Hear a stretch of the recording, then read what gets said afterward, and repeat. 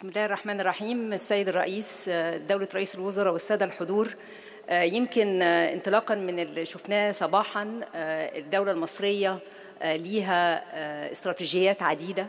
النهاردة أصبح العالم زي ما شفنا مرتبط بشكل كبير جدا العرض من الرؤية الوطنية إلى الشراكات الدولية. كيف خلقنا جسور مهمة جدا مع العالم الخارجي؟ لتنفيذ الرؤية المصرية من خلال شراكات دولية متعددة. يمكن اختصار للمفهوم ويمكن من سنة 2014 في تحول في علاقة مصر مع المؤسسات التمويل الدولية ومع شركائنا الثنائيين من مختلف البلاد وهنشوف نماذج من ده.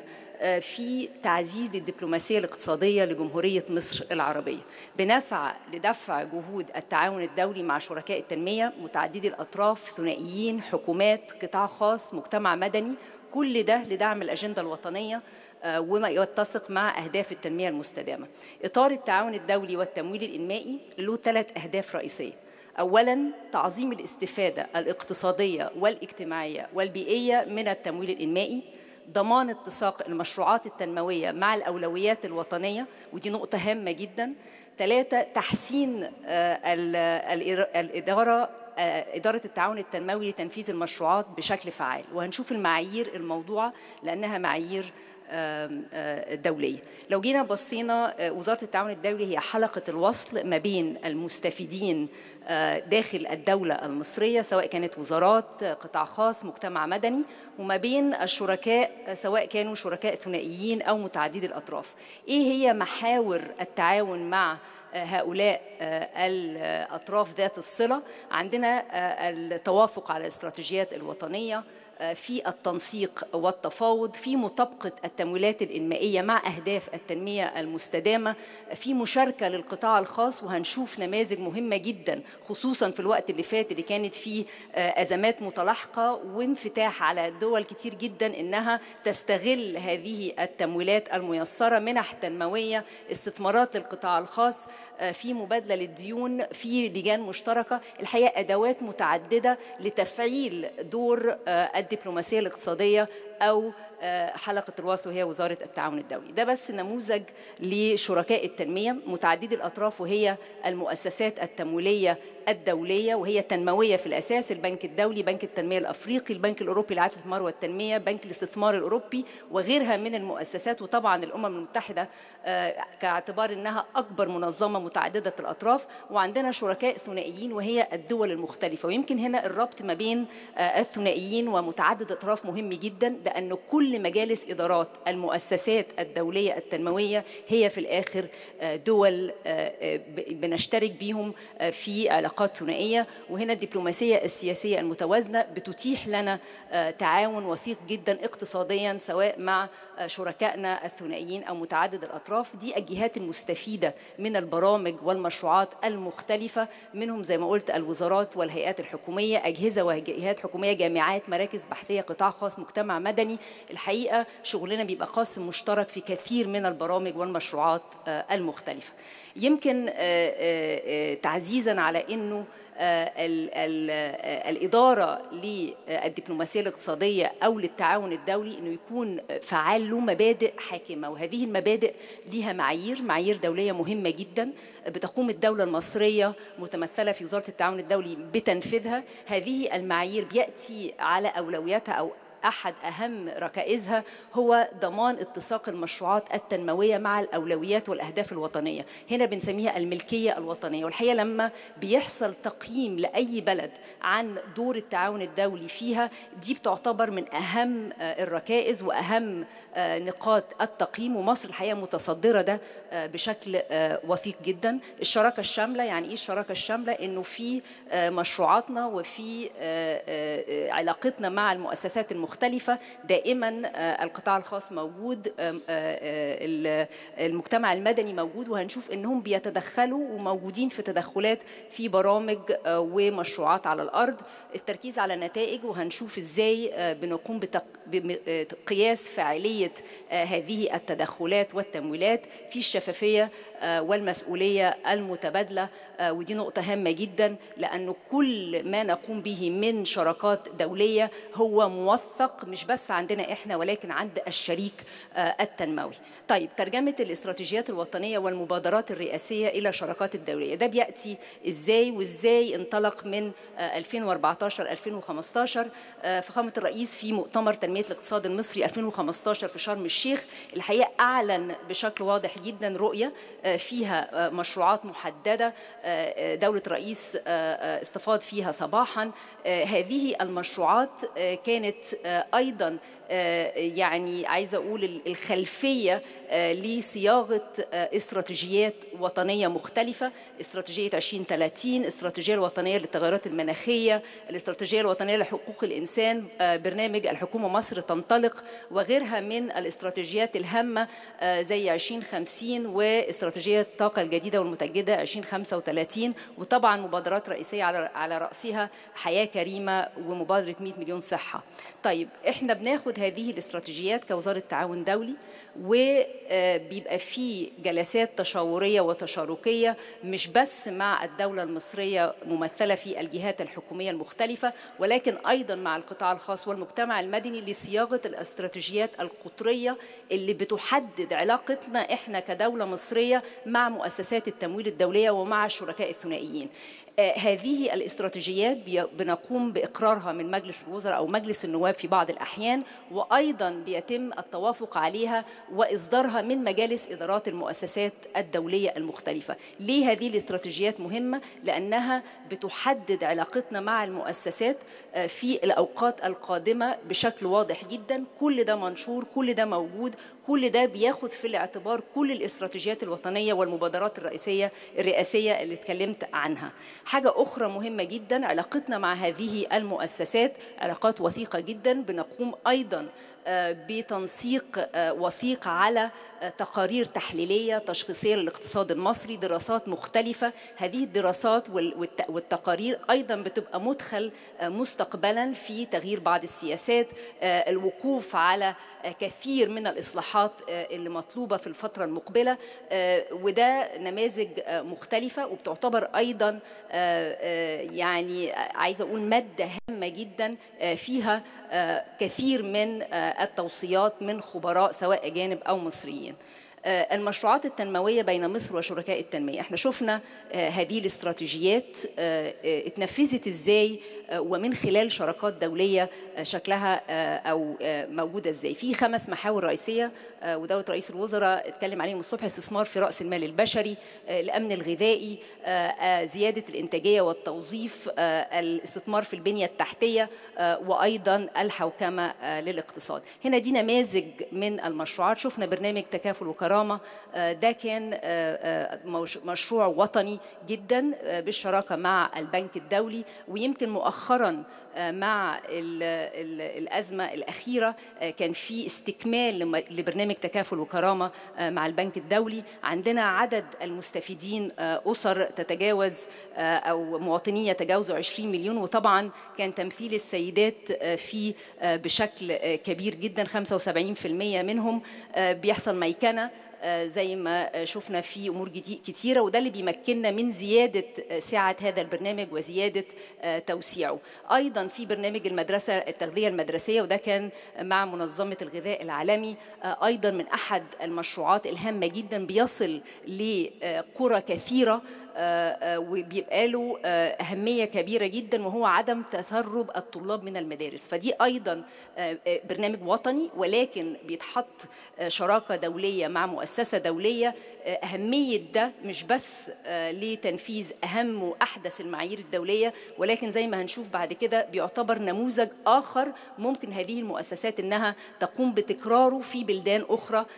من خلال تعاون جنوب جنوب اللي أيضا اطلعنا فيه في الفترة الأخيرة. برنامج فرصة هذا برنامج مع البنك الدولي جزء من تكافل وكرامة وهذا البرنامج مهم جدا لأنه أيضا بيساعد على الشراكة بين الحكومة والقطاع الخاص وبيبقى فيه تشغيل للأسر الأكثر احتياجا. عندنا برنامج زي مشروع نورة وهو برعاية كريمة من السيدة الأولى مع ال UNFPA صندوق الأمم المتحدة للسكان وده بيركز على فئة معينة من الفتيات في سن المراهقة. فده أيضا من البرامج المختلفة والمهمة وزي ما بقول في محافظات عديدة في مصر. عندنا مشروع مدارس العلوم والتكنولوجيا والهندسة والرياضيات عندنا 11 محافظة فيهم هذا النوع من أنواع المدارس مع الوكالة الأمريكية للتنمية. المستفيدين منه من الفتيات أكثر من 44 في المية نوع متميز جدا من المدارس. يمكن زرنا في أسيوط مدرسة متميزة وهذه أيضا تجربة بتكرر إنشاء المدارس اليابانية. وشفنا ده مع الوكالة وكالة الوكالة اليابانية للتنمية. ويمكن ده حصل بعد زيارة فخامة الرئيس لليابان. وأيضا في الجامعة اليابانية عندنا أيضا مشروع آخر وهو تطوير التعليم قبل الجامعي وله أيضا مخرجات مهمة وده كان بالتعاون مع البنك الدولي. في برنامج التأمين الصحي الشامل ويمكن أول مرحلة كانت مع البنك الدولي إضاف إليه الوكالة اليابانية للتنمية وأيضا الوكالة الفرنسية للتنمية.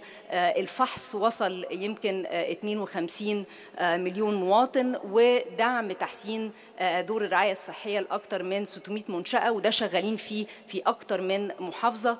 أيضا تنظيم الأسرة الهدف الأكبر طبعا بعد كل الكلام اللي أثير عن زيادة السكانية مشروعات موجهة كلها جزء من خطة الدولة ولكنها بتنفذ بالشراكة مع مؤسسات دولية الوكالة الأمريكية للتنمية أيضا صندوق الأمم المتحدة للسكان والاتحاد الأوروبي لكل مشروع عدد المستفيدين شراكة مع القطاع الخاص أو حكومة فقط وأيضا في كثير من هذه المشروعات اللي بينفذ على الأرض هو المجتمع المدني. فهنا بيبقى فيه أهمية لأنه ال ال ال الاستراتيجية الوطنية مش بس بتنفذها الحكومة ولكن فيها القطاع الخاص. أيضا هنا بس يعني بعض نماذج قطاع التعليم قطاع الصحة مشروعات عديدة جدا قطاع المرأة والتضامن. لو بصينا على الأمن الغذائي عندنا مشروع استصلاح 400 ألف فدان. كان في أيضا مشروع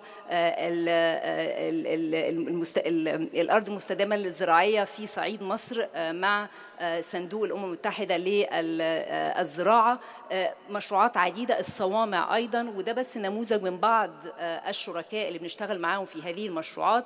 يمكن في تبعات الأزمة الروسية الأوكرانية كان في تدخل سريع أيضا مع شركائنا الدوليين لأكثر من مشروع زيادة السعة التخزينية في الصوامع توريد القمح من الشركاء بتمويلات ميسرة تعزيز الأمن الغذائي والصمود الاقتصادي في مواجهة هذه الأزمات. فده كان بس نموذج بسيط للتدخل السريع مع الشركاء الدوليين في أزمة. تعزيز الإنتاجية والتوظيف أيضا مشروعات عديدة مشروع الاستثمار الزراعي رفع مستوى المعيشة وده أيضا موجود لصغار المزارعين في قرى عديدة من مصر اللجنة المصرية السعودية المشتركة واللي بتمول كثير من المشروعات الصغيرة والمتوسطة وأيضا البنوك زي بنك التنمية الزراعي بنك الصادرات بتعتبر من البنوك الوسيطة في هذه العملية التمويلية لصغار أو للمشروعات الصغيرة والمتوسطة. عندنا أيضا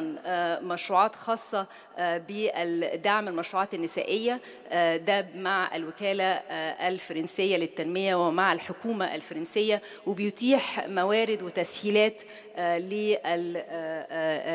للنساء بالتحديد من من خلال خدمات غير مصرفية وده بيساعد طبعا الإدماج المالي. أيضا مشروعات عديدة مع منظمة الأمم المتحدة للتنمية الصناعية الخاصة من البذور إلى القطن. وهنا بنتكلم على الصناعات التحويلية المختلفة تمكين الشباب و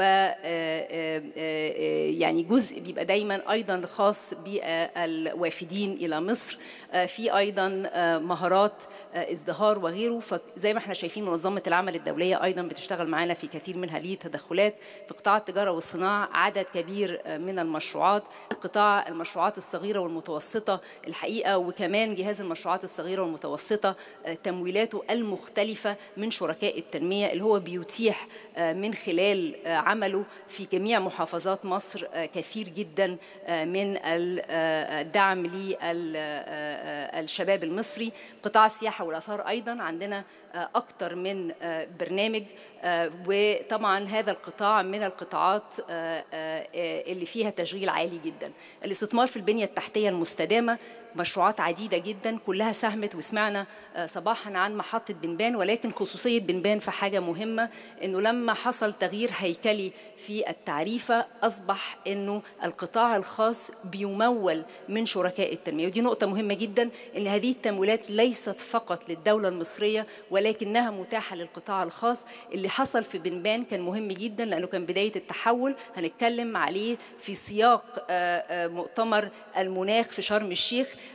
لأنه في 2014 ما كانش العالم بيتكلم على المناخ زي ما بيتكلم عليه النهارده.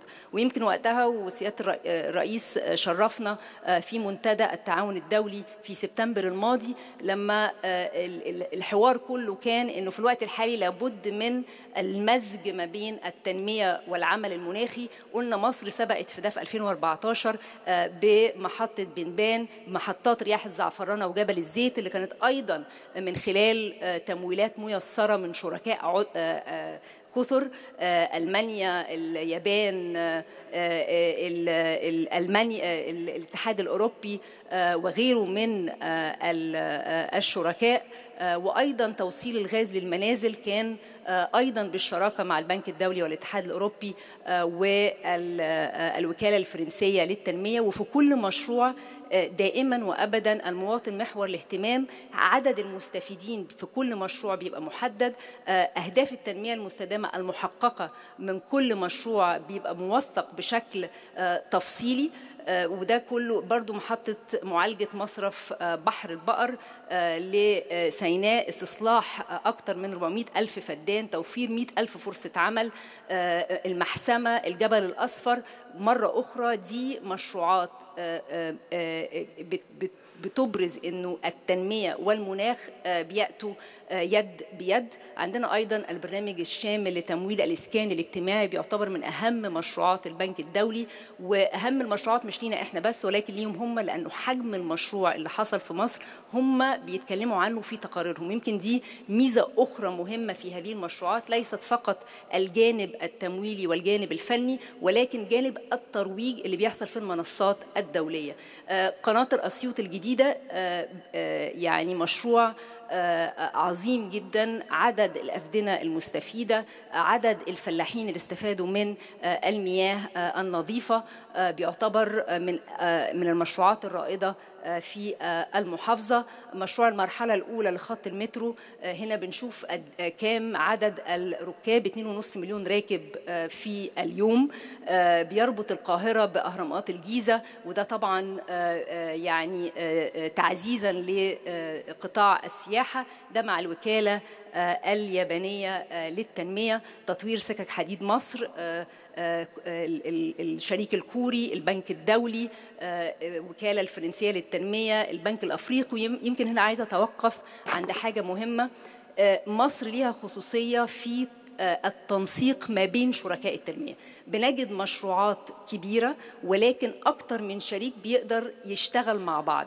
دي مش بالعادة في دول كتير ولكن المشروع نفسه بيتيح هذا التنسيق. الوزارات المعنية واضحة جدا في رؤيتها من خلال الاستراتيجية الموضوعة المتابعة لتنفيذ هذه المشروعات بيحصل بوتيرة كبيرة جدا وسريعة وبالتالي بنقدر إن إحنا ننسق الجهود ما بين الشركاء المختلفين. عايزة برضه أتوقف عند سكك حديد مصر لأنه الشريك الكوري استطاع من خلال وزارة النقل مع صندوق مصر السيادي ومع منطقة قناة السويس المنطقة الاقتصادية لقناة السويس شركة نارك. ده كان بتمويل ميسر على 40 سنة من الشريك الكوري.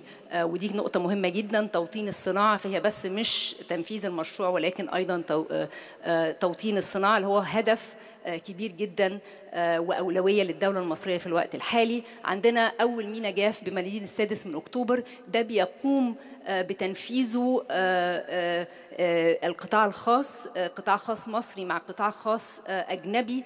ده بتمويل من البنك الأوروبي لإعادة العمارة والتنمية ومؤسسة التمويل الدولية وده أيضا مرة أخرى عمل مناخي مهم جدا. قطاع الطاقة في أكثر من مشروع أكثر من شريك. قطاع الإسكان والمرافق تاني مشروعات عديدة جدا.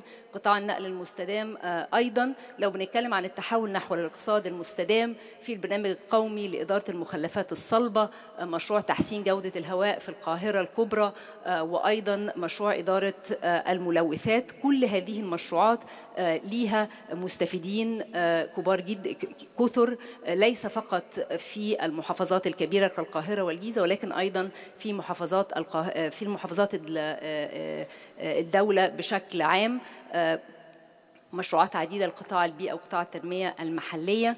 الحوكمة الاقتصادية وتحفيز التجارة أيضا بيتمتعوا بشراكات دولية مهمة. اتكلمنا عن العنصر البشري في الحكومة المصرية.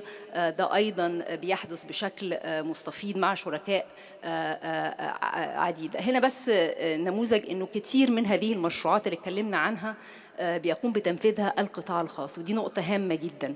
ليست فقط الحكومة حياة كريمة أيضا فيها تدخلات مهمة. هنا بندي بس نموذج لتدخلات بتحصل مع أو شراكة بتحصل مع الأمم المتحدة. أكثر من 400 نشاط أكثر من مليون و400 ألف مواطن مصري وفي محافظات عديدة. عندنا أيضا مشروعات تنمية جزيرة سيناء مع الصناديق العربية 11 مجمع تنموي في شمال سيناء وسبعة في جنوب سيناء.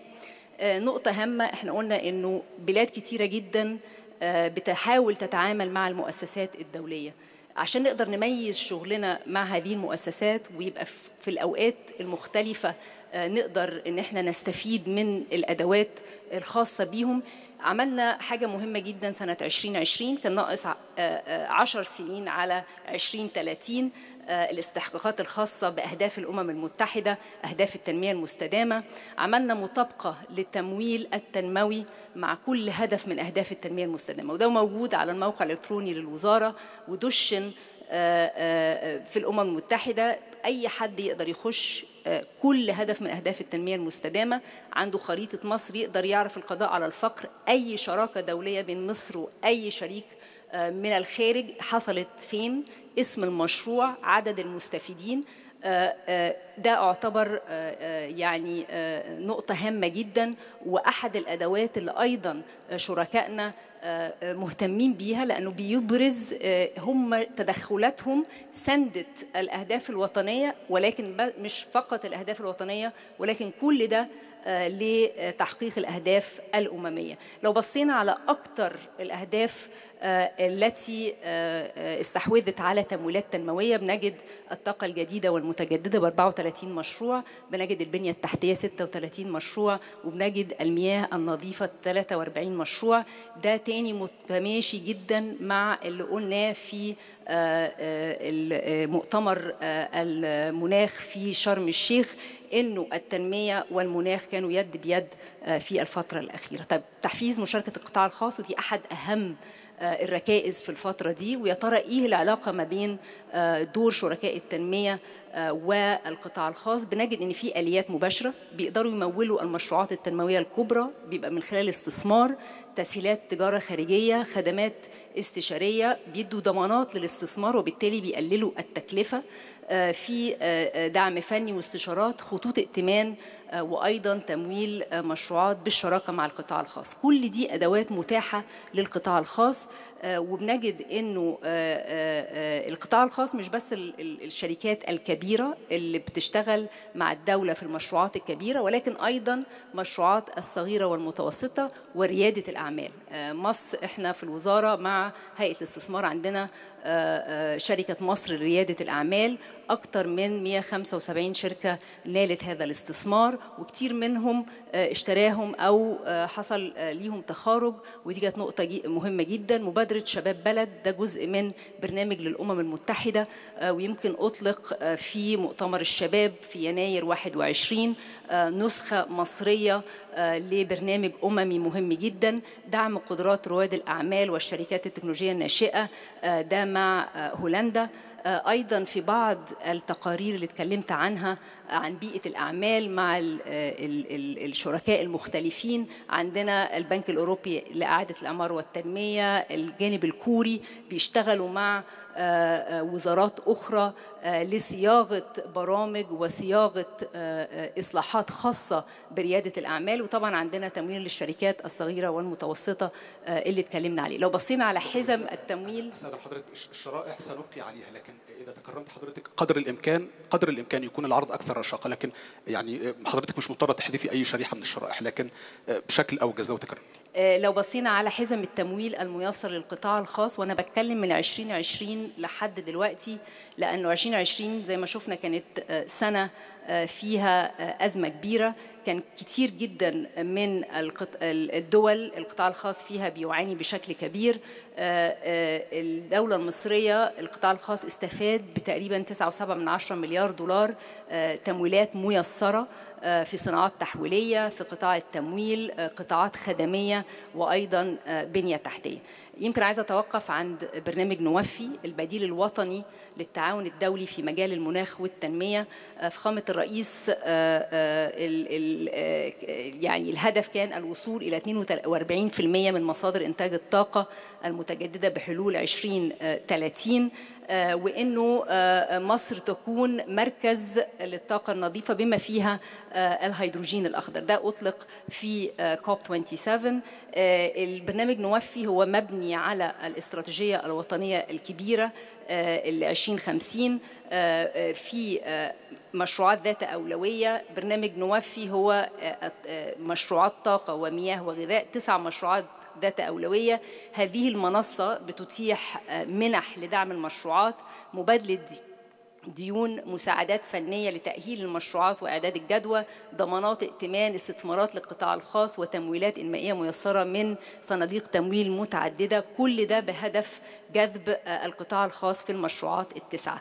هذه المنصة بديل وطني عن ما قامت به مجموعة السبعة وبتعتبر تجربة هامة جدا لعمل المناخ والتنمية. ودي بعض الشركاء اللي بيشتغلوا معانا في تنفيذ هذه المنصة. مرة أخرى هي منصة وطنية المشروعات وطنية. وطنية ولكن بنستفيد من الشراكات الدولية في ده. التوسع في الشراكات الدولية هتكلم على انضمام مصر لبنك التنمية الجديد في إطار سعينا لزيادة التحالفات المختلفة. هذا البنك هو بنك بيعتبر بنك بريكس. إحنا انضمينا في مارس 23 وبنقوم حاليا بصياغة استراتيجيتنا الجديدة مع البنك خصوصا في ظل انضمام مصر للبريكس. عندنا لجان مشتركة عديدة. هذه اللجان بتفتح آفاق للتعاون والاستثمار مع دول عديدة منها المجر منها أوزبكستان منها دول زي فيتنام وأيضا في جنوب أمريكا. وطبعا في الدول العربية زي الربط الثلاثي ما بين الأردن والعراق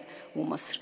التعاون الاقتصادي جنوب جنوب إحنا قلنا إنه كتير جدا من شراكاتنا الدولية بيبقى فيها تبادل خبرات. ولكن أصبح النهارده حجم مشروعات مع الشركاء بيبقى فيه إمكانية كبيرة جدا لتكرار هذه التجربة في دول أخرى وده اللي حاصل في الوقت الحالي إنه مع شركائنا اللي شفناهم إحنا بنقدر إن هم نستضيف صانعي القرار من دول أخرى للتعرف على كيفية تنسيقنا مع الشركاء المختلفين لتنفيذ مشروعات وطنية. نماذج من التعاون جنوب جنوب عندنا ربط سكك الحديد بين مصر والسودان، الربط الملاحي بين بحيرة فيكتوريا والبحر المتوسط والربط الكهربائي ما بين جمهورية مصر العربية والسعودية ودي الشراكات المختلفة في هذه المجالات.